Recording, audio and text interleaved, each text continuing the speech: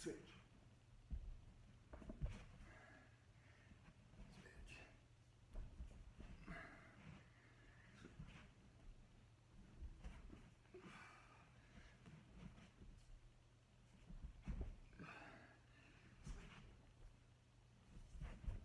Good job. What's up guys? It's day four of MMA Sculpt. This one was the hardest one for me. How about you? Out of the three different workouts we've done, this was the hardest one. It's day four, MMA Sculpt of Core De Force. We are committed. We've been getting up every morning at 6.15 as a way to start our day right. We're gonna make a little video to show you one of the moves from today and we'll add it on here. See you guys.